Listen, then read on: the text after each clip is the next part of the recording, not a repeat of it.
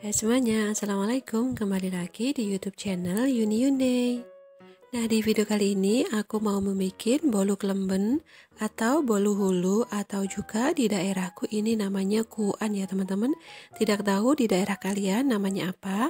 Nah gimana cara aku bikinnya? Tonton terus videonya sampai selesai ya. Terima kasih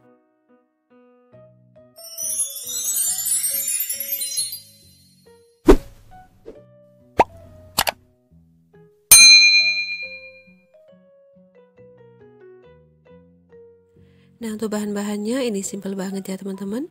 Di sini ada 125 gram tepung terigu. Selanjutnya ada 100 gram gula pasir. Kalau kalian suka manis bisa ditambahin ya, jadi 125 gram. Selanjutnya ada 2 butir telur, setengah sendok teh SP, dan setengah sendok teh baking powder. Kalau kalian mau membuat lebih banyak, tinggal dikalikan resepnya kali dua ya. Kita pecahkan dua butir telur suhu ruang.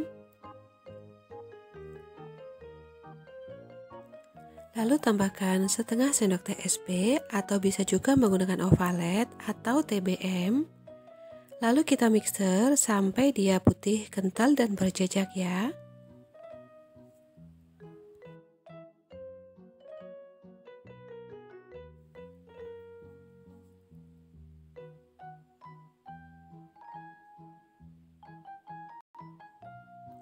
Nah ini sudah mulai putih, kental, dan berjejak ya teman-teman.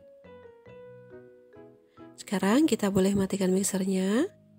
Setelah itu kita akan masukkan tepung terigunya. Kita ayak dulu tepung terigunya.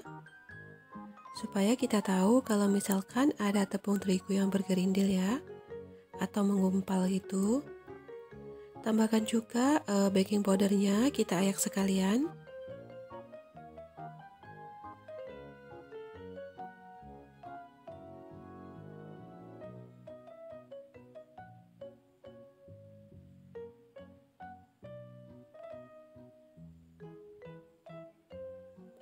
Nah kita ayak sampai semuanya selesai ya teman-teman.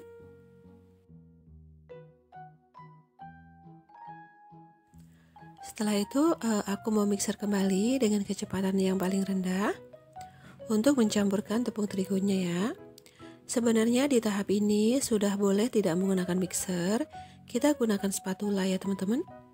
Dan ini adalah pewarna makanan warna kuning telur Aku mau tambahkan beberapa tetes supaya nanti hasilnya agak sedikit kuning, tidak putih pucat gitu ya. Ini opsional, kalau kalian nggak mau ngasih boleh ya. Nah kita campurkan lagi sebentar saja.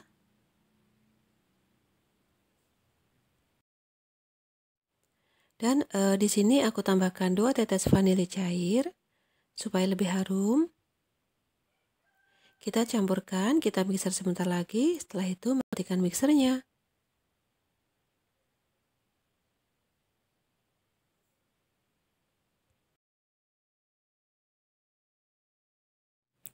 Sekarang kita gunakan spatula. Kita pastikan kalau semuanya sudah tercampur rata ya teman-teman. Kita aduk lipat seperti ini dari bawah ke atas seterusnya sampai kita yakin benar-benar tercampur rata. Nah ini cetakannya sudah aku cuci bersih. Lalu sekarang kita olesin menggunakan margarin tipis-tipis.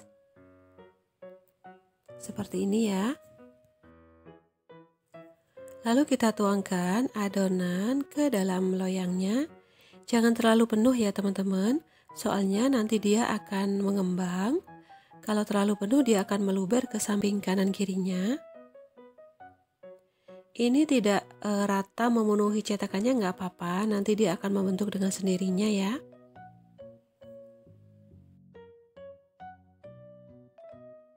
Seperti biasa, di sini sudah aku panaskan wajan serbaguna ya teman-teman. Kurang lebih 10 menitan. Sekarang kita masukkan uh, cetakan uh, atau bolu kelembennya ya. Setelah itu kita tutup dan kita oven kurang lebih 15 sampai 20 menitan atau tergantung oven kalian masing-masing ya. Nah, ini sudah aku panggang selama 20 menit ya. Hasilnya sepertinya dia crispy banget. Sekarang kita angkat dulu dari loyangnya ya.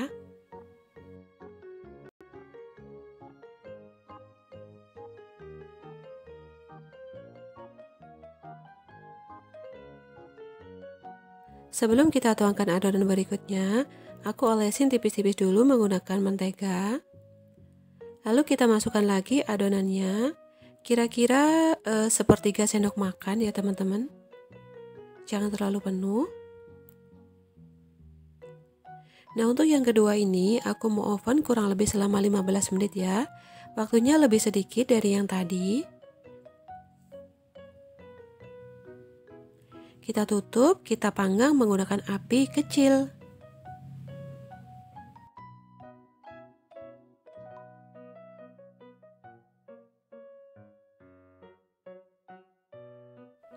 Nah sepertinya hasilnya dia lebih lembut ya teman-teman. Tidak terlalu crispy seperti yang pertama tadi. Nah sekarang tergantung teman-teman ya mau hasilnya lebih crispy Kita oven selama 20 menit. Kalau mau hasilnya lembut e, seperti ini Kita ovennya selama 15 menit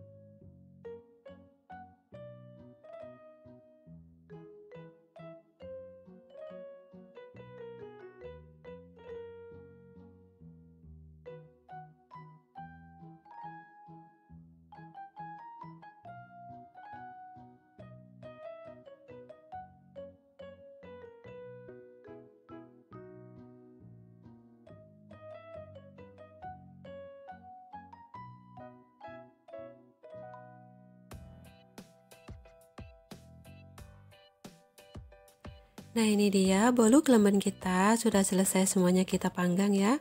Di satu resep ini jadi sekitaran 34 biji. Ini tadi sudah ada beberapa yang kita icipin ya teman-teman. Rasanya enak banget. Bahannya juga sangat irit ya.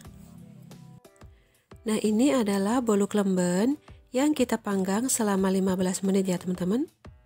Di dalamnya dia masih sedikit empuk Tapi sudah mateng ya teksturnya itu lebih lembut gitu.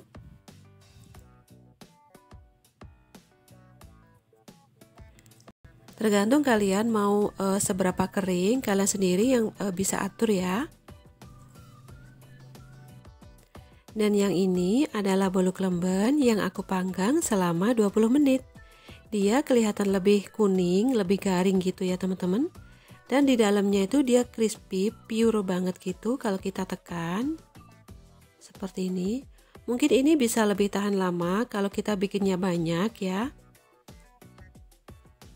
Dia tidak gosong, cuman dia lebih Nah, seperti ini dia lebih kayak kalau kita tekan-tekan lebih gampang hancur gitu ya.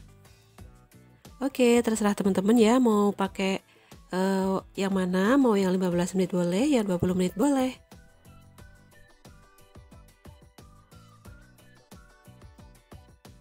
Ini rasanya enak banget loh teman-teman. Kalian di rumah wajib cobain ya. Oke, selamat mencoba untuk semuanya. Semoga berhasil dan semoga resep ini bermanfaat.